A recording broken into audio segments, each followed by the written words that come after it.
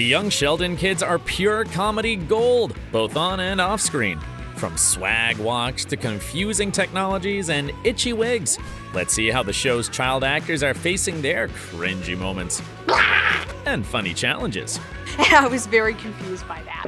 First of all, you have to know that behind the scenes of young Sheldon, the fun never stops, especially when it comes to Iain, who's known for his goofy antics.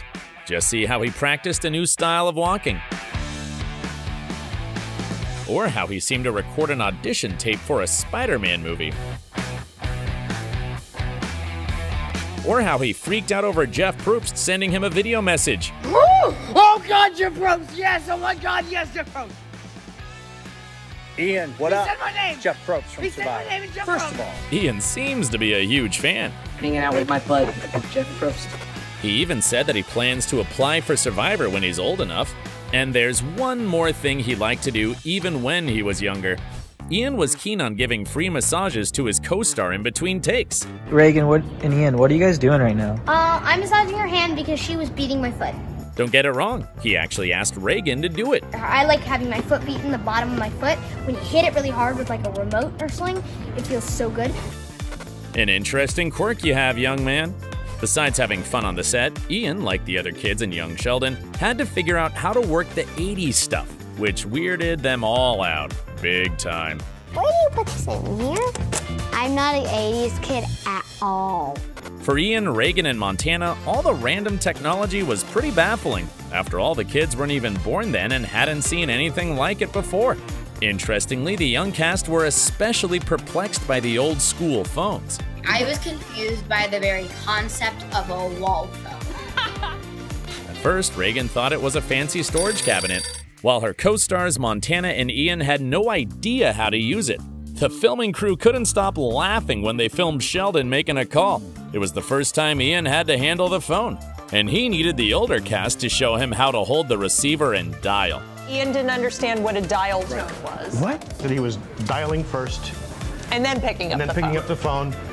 But even that didn't immediately help the young actor. Because the executive producer shared, he was dialing, and I said, Buddy, it's just seven numbers. And that wasn't the only confusing thing for Iain. He once shared that he was utterly puzzled by the 80s fashion, especially after he tried to hug his Meemaw behind the scenes. You know, I'll, I'll like put my arm around her and I'll be like, your shoulder feels weird. And then she's like, all of it's padded. And of course, it's hard for him to understand why computers were so huge back then. I mean, what was up with that? That's bigger than my room at home.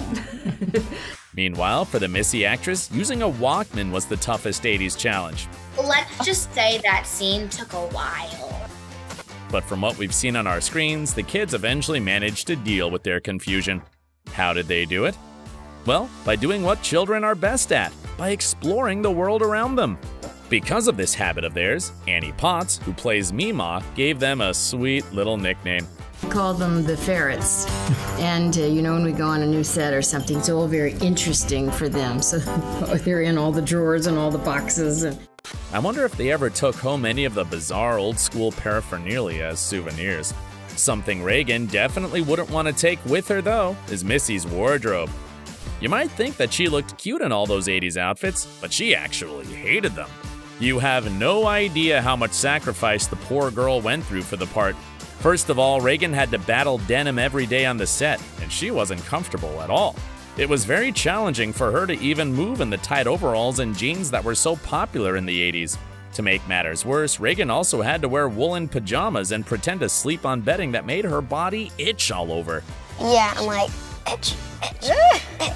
At one point, the crew stepped in to help make things a bit better. Like, um, like little shirts and stuff to put under it so it's not itchy, and they'll give me like, um, pants. All those efforts made it bearable enough for Raegan to survive the take.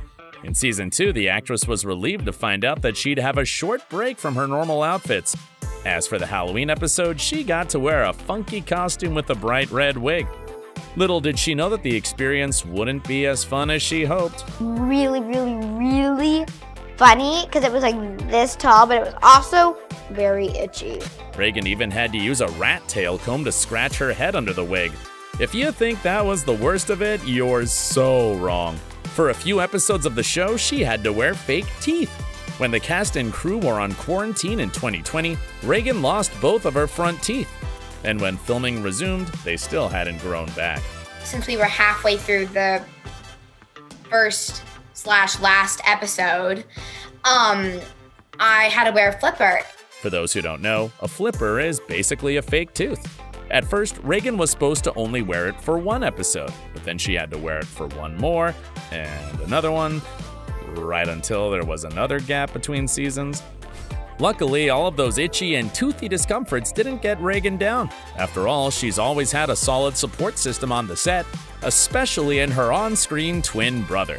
Turns out Raegan and Iain are very close behind the scenes, and they're much more similar than Sheldon and Missy. Really? Are literally exact. We are literally the exact same. The young actors share a passion for Hamilton, theater in general, and also for pranking others. There's a costume lady named Miss Gina, and we love scaring her. And of course, they like having fun together. Everything amazing. Everything amazing. Everything amazing. Raegan and Iain's bond is so strong that they even came up with their own secret language.